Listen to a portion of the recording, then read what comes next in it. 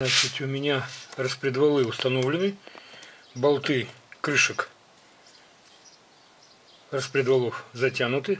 И теперь мне нужно установить ремень ГРМ. Не ремень, а цепь ГРМ. Вот она, цепь. Вот, вот как они делают? Меток тут никаких нет. Форд метки не делает.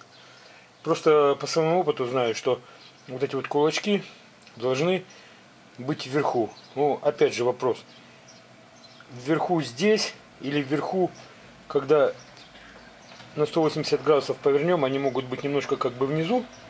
Ну, клапана в это время свободны.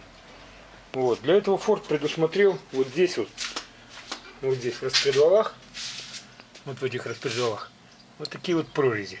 Вот если они стоят эти прорези правильно, то пластина, ну в данном случае я использую старый штангель-циркуль. Вот видите, как входит. А если вот этот распредвал прорезь стоит неправильно, она туда и не войдет, пластина. Она должна быть калиброванная, например, толщиной. Я замерил эти э, проточки, у них по 6 миллиметров. Но если мы пластину будем вставлять, она ляжет вот сюда на край головки. И толщина ее максимум 5 миллиметров будет. Ну, у меня Старый штангенциркуль, по-моему, 4 мм толщиной. Но даже он не лезет. То есть мне нужно сейчас вот этот вот распредвал выпускной повернуть на 180 градусов, чтобы он залез. Вот сейчас я продемонстрирую, как это будет выглядеть. Специально не прерываю видео. Крутим.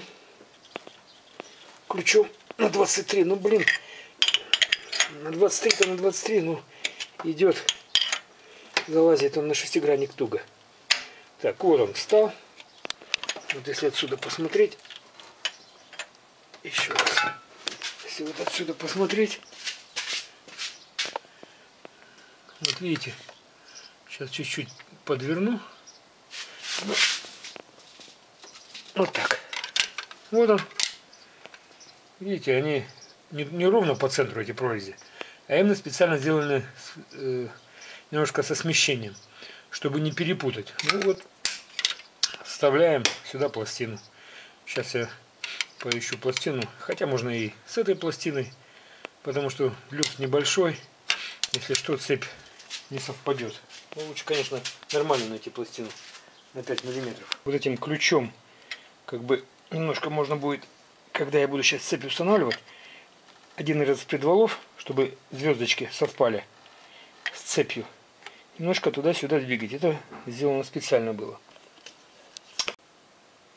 Перед тем, как устанавливать цепь, нужно установить вот этот вот успокоитель справа, если смотришь на звезды механизма газораспределения. А вот этот вот натяжитель, его нужно устанавливать будет вместе с цепью. Потому что он настолько плотно вот здесь вот подходит к звездочке, что цепь, если я сейчас буду ее одевать, она просто сюда не пролезет. Ну, мешать будет успокоитель. Хотя, хотя, наверное, нет. Сейчас посмотрим. Вот я его отодвинул. Сейчас буду устанавливать цепь. Так.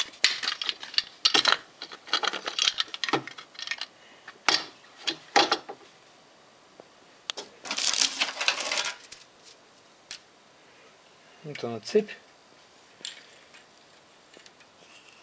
Одеваю сначала на верхней звездочке.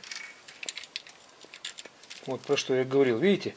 Чтобы она, вот эта цепь была вот так вот натянута, но она не садится сразу. Я ключом,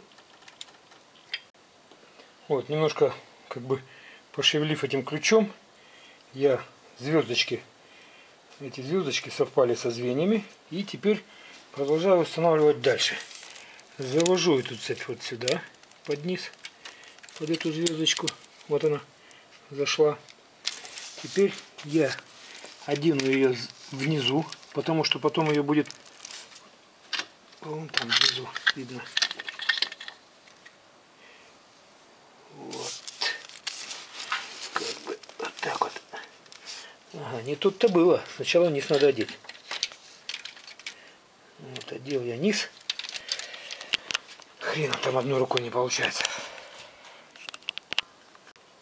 Вон там я внизу одел сначала на нижнюю звездочку, ну так бы как бы накинул.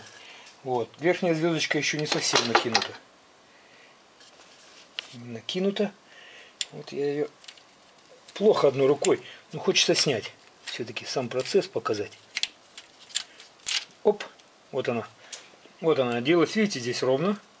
То есть не провисшая, более-менее ровно. Здесь она идет по натяжителю. О, здесь вот она идет по натяжителю, а здесь по успокоителю. Вот, попробуем натянуть. Ну, вот он. Лампочку поближе. Попробуем. Вот так вот натягивается. Все четко. Четко подходит.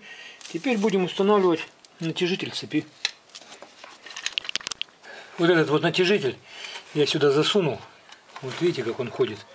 Ну, как засовывал одной рукой, ну невозможно было снимать и свой. Поэтому кто ремонтирует, меня поймет, кто своими руками делает.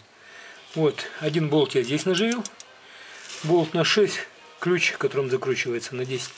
Вот второй болтик. Вот он, второй болтик наживляю. Вот, сейчас наживлю. Затяну. И буду выдергивать вот эту вот чеку. Выдерну. Отсюда выйдет шток подпружиненный. Вот он натянет цепь. А с той стороны, с той стороны, под, э, каналу подходит масляному, который будет еще давить, как бы отдавить вот эту вот э, натяжитель, вот этот металлическую часть его, а сверху пластик.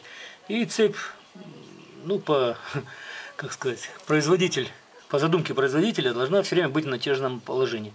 Если цепь растягивается, вот этот натяжитель будет болтаться, и, естественно, цепь будет перескакивать. Ну вот примерно смысл такой. Вот место, где прикручивается натяжитель, его необходимо протереть. Вот, но у меня нету третьей руки, чтобы показывать и протирать. Вот, а вот там он, вон он отверстие. Это масляный канал, который наполняется и давит на сам натяжитель. Пришлось мне открутить второй раз натяжитель, потому что когда стал затягивать э, вот эти вот два болтика, такой характерный хруст, как будто под ними, под болтиками или под самим натяжителем песчинки. Ну, я так подумал, что если песчинки... Сейчас нет этого хруста. Если песчинки хрустят, значит может остаться щель в которую будет оттекать масло. Вот пришлось еще раз разобрать.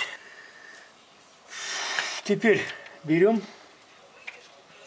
и вот этот вот, вот эту вот скобочку, вот эту вот скобочку. Блин, ну до такой степени не... Сейчас покажем сверху. А вот это вид сверху. Установленный заново натянутый при помощи натяжителя цепи